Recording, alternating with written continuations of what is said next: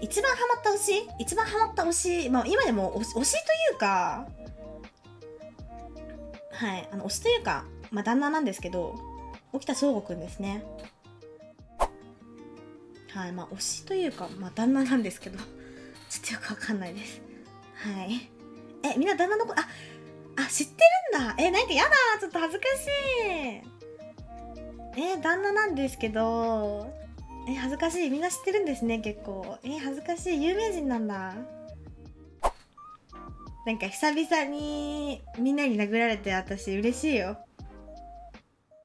ありがとな、みんな。付き合ってくれて。まあ、ガチなんだけどね。うん。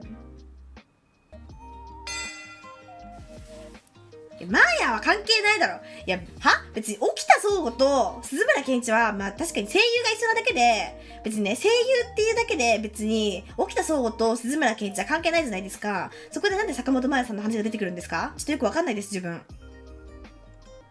まあ、地雷なんでやめてもらっていいですかそういうの。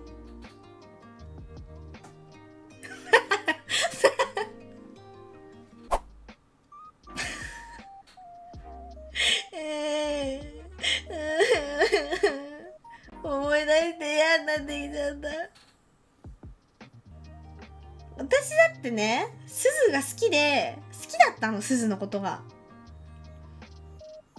すずがねなんか坂本真綾と結婚したって出た時もうもうねショックすぎて私その時友達の家にいたんだけどもう本当にショックすぎてもうマジで泣いたもんリアルに。うん。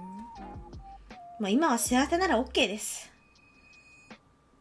ねえそういうねえふざけてそういう名前使わないでもらっていいですか？私は本気なんですよ。鈴村健一スーパーチャットありがとう Thank you ふざけてそうやってスーパーチャットで名前を使ったりしないでもらっていいですか？地雷なんですけどそういうの一番。ブチギレるよ本当に。じゃあもうブチギレてるんでもうこのまま配信やりまやめますもんお前あんまりスーパーお金投げてるからってな何やってもいいと思ってんじゃねえぞ本当に。こっちだって切れる時は切れるぞ本当に。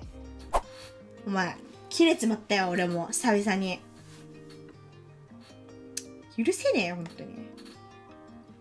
この9時からねレンのね1周年記念配信があるんでそちらを見てください。